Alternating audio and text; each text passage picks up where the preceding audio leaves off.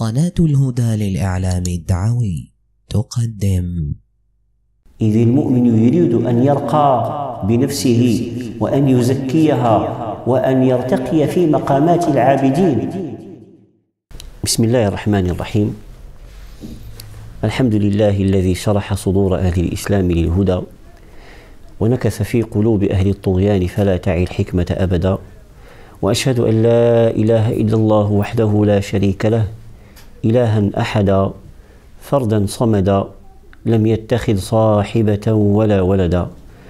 وأشهد أن محمدا عبده ورسوله ما أعظمه عبدا وسيدا وأكرمه أصلا ومحتدا وأبهره صدرا وموردا وأطهره مضجعا ومولدا صلى الله عليه وعلى آله وأصحابه غيوث الندى وليوث العدا. صلاة وسلاما دائمين من اليوم إلى أن يبعث الناس غدا.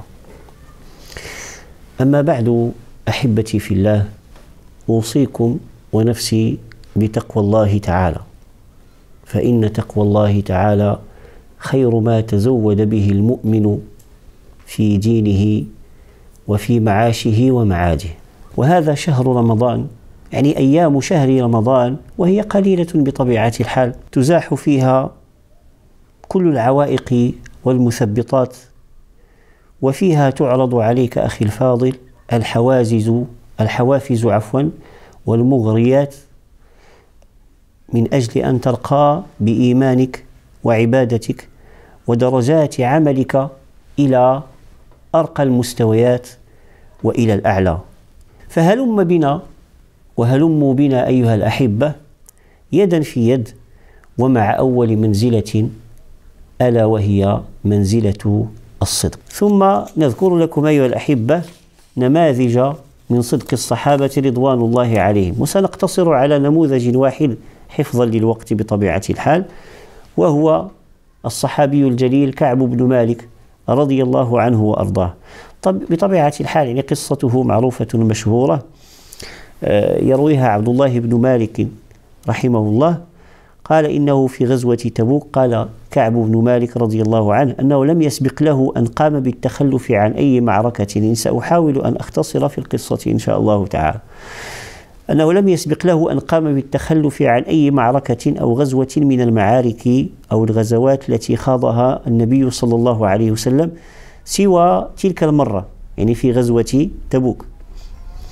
حيث إن كعب بن مالك رضي الله عنه كان في غزوة تبوك لا يملك ما يشارك به في الغزوة من بعير أو سلاح أو أي عتاد آخر. ولما حان موعد الغزوة خرج رسول الله صلى الله عليه وسلم ومعه جيش المسلمين.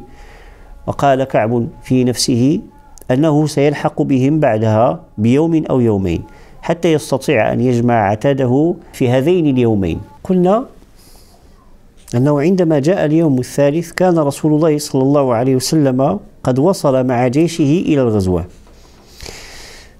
يعني فلم يلحق كعب بن مالك رضي الله عنه بالجيش مع النبي صلى الله عليه وسلم. وحصل ما حصل يعني وانتصر النبي صلى الله عليه وسلم في هذه الغزوة.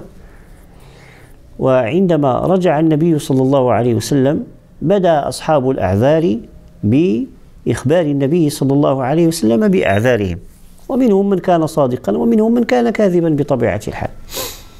لكن كعب بن مالك رضي الله عنه وأرضاه لما ذهب إلى النبي صلى الله عليه وسلم يعني أخبره أنه لم يكن له عذر في التخلف عن الغزوة. فكان صادقا مع النبي صلى الله عليه وسلم. وأخبره عن نفسه أنه قد أوتي جدلا يعني كان بإمكانه أن يخبر النبي صلى الله عليه وسلم بأي شيء يتعذر به والنبي صلى الله عليه وسلم سيقبل عذره. لكن هو عرف أن النبي صلى الله عليه وسلم إن كذب عليه كعب بن مالك سيعرف النبي صلى الله عليه وسلم فالنبي صلى الله عليه وسلم يوحى إليه. فسيخبره الله تبارك وتعالى أنه كذب. فالمهم أن كعب بن مالك رضي الله عنه لما لقي النبي صلى الله عليه وسلم وأخبره بحقيقة الأمر. يعني قليل لم يكن عندي عذر في التخلف عن الغزوة. أنا أحاول أن يعني أحكي لكم القصة باختصار وبتصرف حتى آه، لا نطيل في ذكر المثال. والنبي صلى الله عليه وسلم قال معلقا أما هذا فقد صدق في بعض الروايات. فالمهم أنه حصل لكعب بن مالك رضي الله عنه ما حصل له من الابتلاء. فقد هجره أصحابه وهجره الناس لأن النبي صلى الله عليه وسلم أمر الناس أن يعتزلوه. ولكن مع ذلك قبل أن يقع الذي وقع كعب بن مالك رضي الله عنه اختار أن يصدق مع الله ومع رسول الله صلى الله عليه وسلم.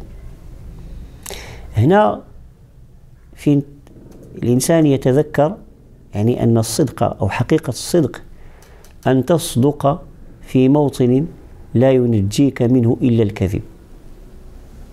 يعني هكذا يتصور المرء المرء يتصور في بعض الأحيان أنه لن ينجو إلا إذا كذب. حتى لا يساء به الظن وحتى لا يعاتب وحتى لا يؤخذ وحتى إلى غير ذلك من الأمور. لكن إن صدق فإنه قد اختار أن يكون صادقا والصدق محمود في كل حال. فكعب رضي الله عنه قرر أن يكون أن يقول الصدق وليكن ما يكون. فجاء رسول الله صلى الله عليه وسلم أو جاء رسول الله صلى الله عليه وسلم وكلمه كعب. وقال له أنه لم يكن له أي عذر ليتخلف عن الغزوة. فقال له رسول الله صلى الله عليه وسلم أن ينتظر حتى يقضي الله في أمره. وبعد ذلك بمدة آه، لا بأس بها جاءه البشير بأن الله تبارك وتعالى غفر له وأن توبته إلى الله عز وجل قد تم قبولها. لأنه يعني كان صادقا مع الله تعالى ومع رسوله صلى الله عليه وسلم وتاب من هذا الأمر الذي حصل منه وهو التخلف عن الغزوة.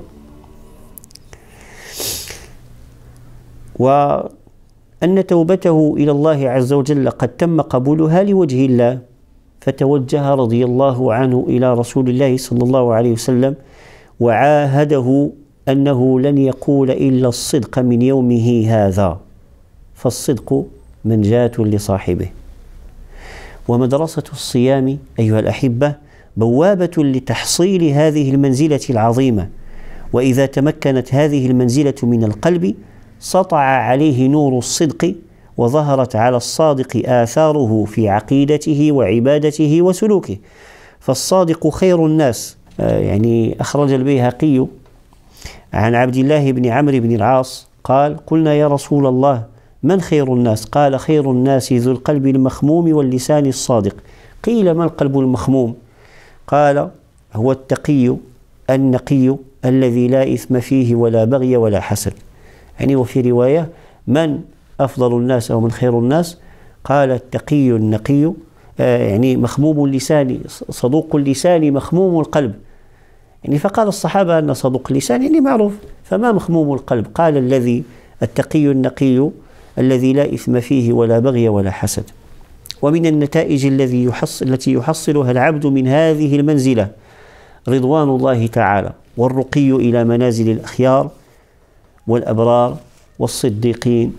ونسأل الله تبارك وتعالى أن يجعلنا وإياكم من الصادقين في كل الأحوال. إنه ولي ذلك والقادر عليه. أقول قولي هذا وأستغفر الله لي ولكم. سبحانك اللهم وبحمدك أشهد أن لا إله إلا أنت أستغفرك وأتوب إليك. ما كان من صواب فمن الله عز وجل وحده وما كان من خطأ أو سهو أو زلل أو نسيان فمني ومن الشيطان والله ورسوله منه براء إلى يوم القيامة وجزاكم الله خيرا.